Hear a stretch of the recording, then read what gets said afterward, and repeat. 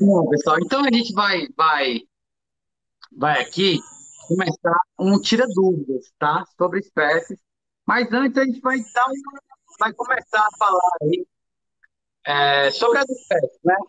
São 11 ou são 8, né? O Mark que são 11, né? Porque ele coloca a Nova Tanzânia como uma espécie, né? E Nova Tanzânia até então era classificada como uma, uma subespécie da somalense, né? Ela e a Uhum. A ela e a crispa, Crispin né? também, né? Uhum. Ela e a Crispin também. Então, vamos dar uma olhadinha aí na, na... Começar pelas obesas, né?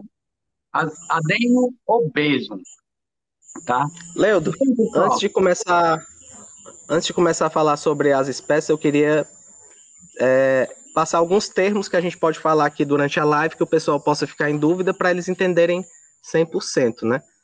Uma sim, espécie que a gente chama pura é quando ela é, é realmente pura, vem da natureza selvagem conseguiram, sem misturar ela com outras espécies, que ela mantivesse o DNA dela puro, a genética pura. E a hibridação é quando você cruza uma espécie com outra, uma arabe com, com uma obeso.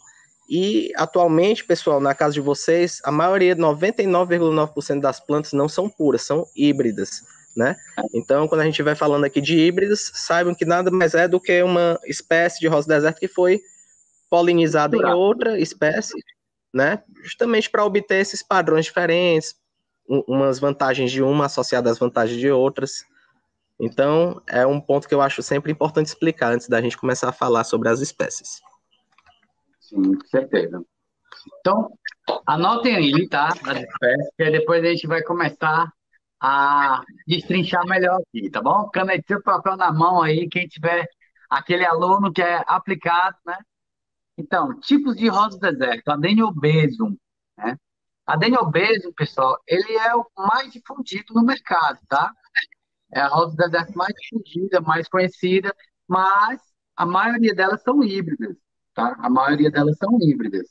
Essas dobradas, a Deniobeso original é essa pink, rosas pink simples, né? Então, como é que começou essa história? Através de várias polinizações, polinizando umas com as outras, umas com as outras, de repente saiu uma dupla, uma dobrada, de pétalas dobradas. E aí começou a polinizar umas com as outras, né? De repente saiu outra dobrada. Aí começou a polinizar dobrada com dobrada, até que um dia saiu uma tripla. E por aí vai, né? Através dos anos de história e de cultivo, e de polinizações, de mistura, de hibridização. E aí foram se aparecendo essas rosas do deserto que a gente conhece hoje, certo? Exatamente, que são rosas de cativeiro, né? São bem diferentes de plantas selvagens, puras, assim, que são encontradas na natureza, que a gente vai falar de umas espécies aí na frente, como a socotrano, que vocês vão entender isso. A obesum, Leudo, eu acho uma grande contribuidora para o sucesso da rosa do deserto, porque é a que tem a maior gama de flores entre todas as espécies, de variação, de flores e tudo mais. É, o aumento maior ainda da, do tipo, do, da variedade de flores das rosas do deserto também foi obtida através de hibridações. Mais para frente vocês vão ver as flores da Suazicum, as flores da Crispum, e vão ver que, notar que em algum momento eles começaram a polinizar com a Obesum para conseguir uns padrões diferentes, aqueles rajados, aqueles rendilhados, que é comum da Crispum. Então eles além de cruzarem dobradas com dobradas, vermelhas com vermelhas e etc., também Aí começaram a hibridizar, né? Espécies. Daí, daí como eu falei no começo, há 12 anos não tinha nada, só tinha rosa, branca e, e, e vermelho, era uma raridade branco e vermelho.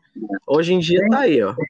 Eu vi no, no, no site, né, do, que é o site do pessoal lá do Mark Dimit, o site é todo em inglês.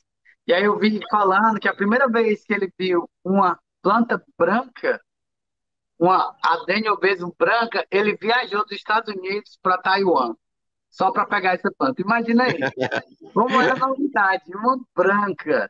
Ele viajou dos Estados Unidos até Taiwan para pegar essa planta.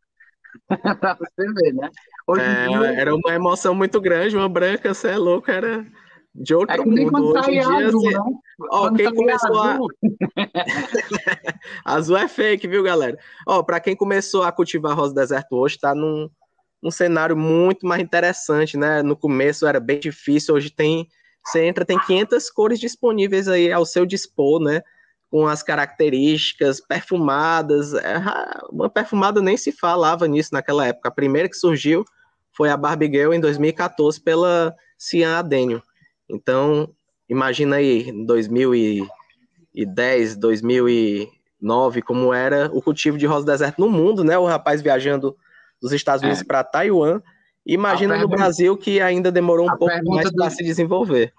A pergunta do Zé Carlos era assim, ó. Existe concurso nacional de agente no Brasil com premiação? Eu não conheço, acho que ainda não, né? Agora, eu tô tá com essa ideia aí, Leudo. Aí, Leandro, eu tô com essa né? ideia aí. Vamos é, a gente já fazia há um tempo atrás a Batalha dos Colecionadores, eu não sei se tu lembra. Lembro, lembro. Botava no Instagram para o pessoal. É, sendo que devido à pandemia não pôde mais fazer eventos e tal. Só que aí a gente está com a ideia de fazer um evento é, pela internet mesmo, uma, uma várias categorias, uma batalha mesmo de colecionadores com premiação. Joel, Muito bom. Olha aí o Joel. Beleza, Joel? Boa noite, meu amigo. Beleza. Joel tá aí começando também empreender aí no mundo das rosas do deserto. Mais é, um aí para nossa equipe, né? E será muito bem-vindo aí, Joel. Conte com a nossa ajuda aí. Nós temos todo o suporte também para os produtores. Pronto. E aí, onde nós estávamos? Estava falando da, da questão da hibridalização, como era difícil, né? É que até uma branca já era diferente, né?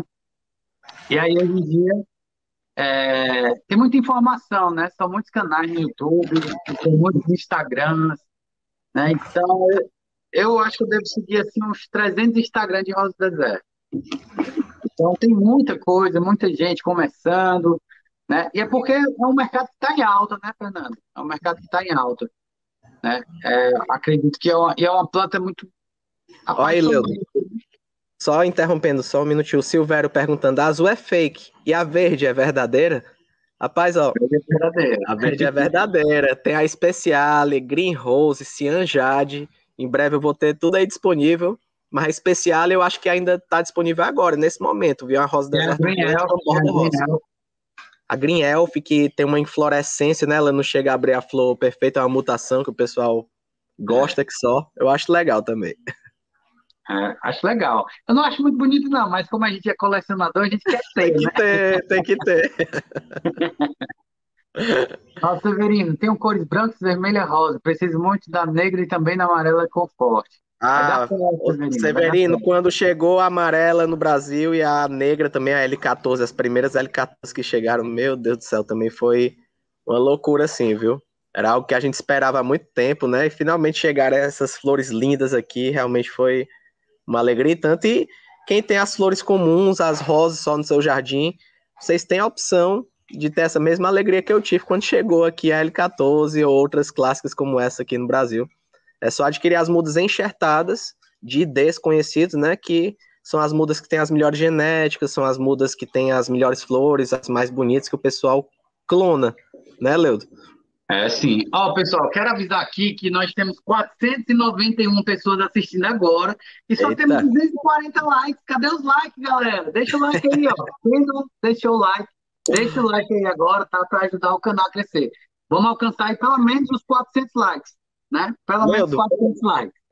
Sei que já tá fera aí no YouTube. Eu queria aproveitar aí que você pediu o like aí pro canal crescer e também fazer o convite aí do pessoal participar do canal Rosa Deserto Fortaleza, que está engatinhando ainda, começando agora. Tá com três videozinhos lá, mas eu vou fazer, tentar pelo menos um por semana. O Leudo que consegue uma coisa, eu não sei como. Todo dia ele tá gravando, mas um dia eu chego lá.